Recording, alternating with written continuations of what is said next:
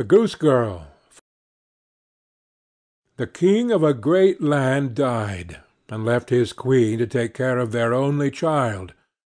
The child was a daughter, who was very beautiful, and her mother loved her dearly, and was very kind to her. And there was a good fairy too, who was fond of the princess, and helped her mother to watch over her. When she grew up, she was betrothed to a prince who lived a great way off and as the time drew near for her to be married, she got ready to set off on her journey to his country. Then the queen her mother packed up a great many costly things, jewels and gold and silver, trinkets, fine dresses, and in short everything that became a royal bride. And she gave her a waiting maid to ride with her, and give her into the bridegroom's hands, and each had a horse for the journey. Now the princess's horse was the fairy's gift, and it was called Falada, and could speak. When the time came for them to set out, the fairy went into her bedchamber, and took a little knife, and cut off a lock of her hair, and gave it to the princess, and said, "Take care of it, dear child, for it is a charm that may be of use to you on the road." Then they all took a sorrowful leave of the princess and she put the lock of hair into her bosom, got upon her horse, and set off on her journey to her bridegroom's kingdom. One day, as they were riding along by a brook, the princess began to feel very thirsty, and she said to her maid, "Pray get down and fetch me some water in my golden cup out of yonder brook, for I want to drink." "Nay," said the maid. If you are thirsty, get off yourself and stoop down by the water and drink. I shall not be your waiting maid any longer." And she was so thirsty that she got down and knelt over the little brook and drank. For she was frightened, and dared not bring out her golden cup. And she wept and said, "Alas! what will become of me?" And the lock answered her and said. Alas, alas! if thy mother knew it, Sadly, sadly would she rue it." But the princess was very gentle and meek, so she said nothing to her maid's ill behaviour, but got upon her horse again. Then all rode farther on their journey, till the day grew so warm and the sun so scorching that the bride began to feel very thirsty again, and at last, when they came to a river, she forgot her maid's rude speech, and said, "Pray get down and fetch me some water to drink in my golden cup."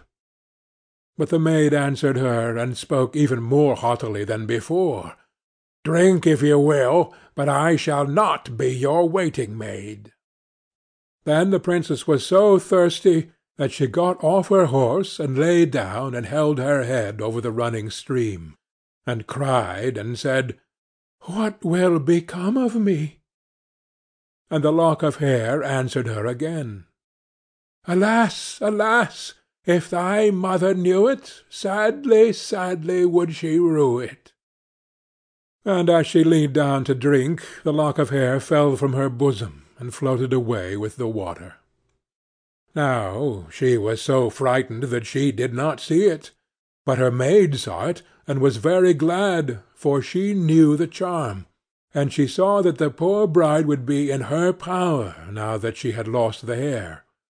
So when the bride had done drinking, and would have got upon Falada again, the maid said, "I shall ride upon Falada, and you may have my horse instead." So she was forced to give up her horse, and soon afterwards to take off her royal clothes and put on her maid's shabby ones. At last, as they drew near the end of their journey, this treacherous servant threatened to kill her mistress if she ever told any one what had happened. But Falada saw it all, and marked it well. Then the waiting maid got upon Falada, and the real bride rode upon the other horse, and they went on in this way till at last they came to the royal court. There was great joy at their coming and the prince flew to meet them, and lifted the maid from her horse, thinking she was the one who was to be his wife, and she was led upstairs to the royal chamber; but the true princess was told to stay in the court below. Now the old king happened just then to have nothing else to do, so he amused himself by sitting at his kitchen window, looking at what was going on, and he saw her in the courtyard. As she looked very pretty, and too delicate for a waiting maid, he went up into the royal chamber to ask the bride who it was she had brought with her, that was thus left standing in the court below. "I brought her with me for the sake of her company on the road," said she. "Pray give the girl some work to do, that she may not be idle." The old king could not for some time think of any work for her to do; but at last he said, "I have a lad who takes care of my geese. She may go and help him." Now the name of this lad, that the real bride was to help in watching the king's geese, was Curdken. "Dear husband, pray do me one piece of kindness." "That I will," said the prince. "Then tell one of your slaughterers to cut off the head of the horse I rode upon, for it is very unruly, and plagued me sadly on the road." But the truth was, she was very much afraid lest Falada should some day or other speak, and tell all she had done to the princess. She carried her point, and the faithful Falada was killed. But when the true princess heard of it, she wept, and begged the man to nail up Falada's head against the large dark gate of the city, through which she had to pass every morning and evening, that there she might still see him sometimes. Then the slaughterer said he would do as she wished, and cut off the head, and nailed it up under the dark gate. Early the next morning, as she and Curdken went out through the gate, she said sorrowfully, "Falada, Falada, there thou hangest." And the head answered, "Bride, bride, there thou gangest. Alas, alas, if thy mother knew it, Sadly, sadly would she rue it." Then they went out of the city, and drove the geese on and when she came to the meadow, she sat down upon a bank there, and let down her waving locks of hair, which were all of pure silver. And when Curdken saw it glitter in the sun, he ran up and would have pulled some of the locks out, but she cried, "Blow, breezes, blow! Let Curdken's hat go! Blow, breezes, blow! Let him after it go! O'er hills and dales and rocks away be it whirled, Till the silvery locks are all combed and curled." Then there came a wind so strong that it blew off Curdken's hat, and away it flew over the hills, and he was forced to turn and run after it, till by the time he came back she had done combing and curling her hair, and put it up again safe. Then he was very angry and sulky and would not speak to her at all; but they watched the geese until it grew dark in the evening, and then drove them homewards. The next morning, as they were going through the dark gate, the poor girl looked up at Falada's head, and cried, "Falada, Falada, there thou hangest!" And the head answered, "Bride, bride, there thou gangest! Alas, alas, if thy mother knew it, Sadly, sadly would she rue it." Then she drove on the geese, and sat down again in the meadow, and began to comb out her hair as before; and Curdken ran up to her, and wanted to take hold of it, but she cried out quickly, "Blow, breezes, blow! Let Curdken's hat go! Blow, breezes, blow! Let him after it go! O'er hills and dales and rocks away be it whirled, Till the silvery locks are all combed and curled."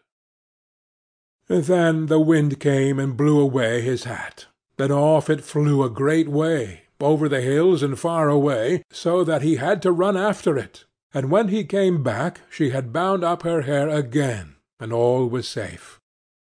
So they watched the geese till it grew dark. In the evening, after they came home, Curdken went to the old king, and said, "I cannot have that strange girl to help me to keep the geese any longer." "Why?" said the king. "Because, instead of doing any good, she does nothing but tease me all day long." Then the king made him tell him what had happened; and Curdken said, "When we go in the morning through the dark gate with our flock of geese, she cries, and talks with the head of a horse that hangs upon the wall, and says, 'Falada, Falada, there thou hangest,' and the head answers, 'Bride, bride, bride, there thou gangest, Alas, alas, if thy mother knew it, Sadly, sadly would she rue it.'"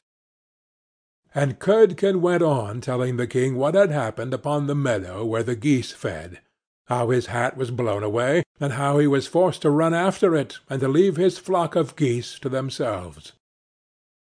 But the old king told the boy to go out again the next day; and when morning came he placed himself behind the dark gate, and heard how she spoke to Falada, and how Falada answered.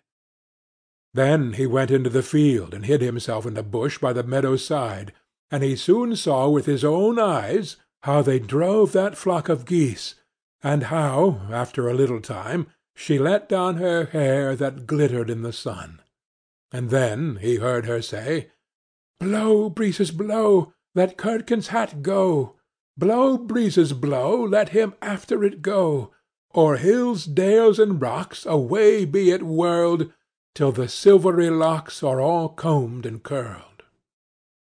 And soon came a gale of wind, and carried away Curdken's hat, and away went Curdken after it, while the girl went on combing and curling her hair. All this the old king saw; so he went home without being seen, and when the little goose girl came back in the evening he called her aside and asked her why she did so. But she burst into tears, and said, "That I must not tell you, or any man, or I shall lose my life." But the old king begged so hard, that she had no peace till she had told him all the tale, from beginning to end, word for word. And it was very lucky for her that she did so, for when she had done, the king ordered royal clothes to be put upon her, and gazed on her with wonder she was so beautiful. Then he called his son, and told him that he had only a false bride, for that she was merely a waiting maid, while the true bride stood by. And the young man rejoiced when he saw her beauty, and heard how meek and patient she had been; and without saying anything to the false bride, the king ordered a great feast to be got ready for all his court. The bridegroom sat at the top with the false princess on one side and the true one on the other. But nobody knew her again, for her beauty was quite dazzling to their eyes, and she did not seem at all like the little goose girl, now that she had her brilliant dress on. When they had eaten and drank, and were very merry, the old king said he would tell them a tale. So he began, and told all the story of the princess, as if it was one that he had once heard, and he asked the true waiting maid what she thought ought to be done to any one who would behave thus. Nothing better, said this false bride, than that she would be thrown into the cask stuck round with sharp nails, and that two white horses should be put to it, and should drag it from street to street till she was dead. "Thou art she," said the old king, "and as thou hast judged thyself, so shall it be done to thee." And the young king was then married to his true wife, and they reigned over the kingdom in peace and happiness all their lives, and the good fairy came to see them, and restored the faithful Falada to life again. End of The Goose Girl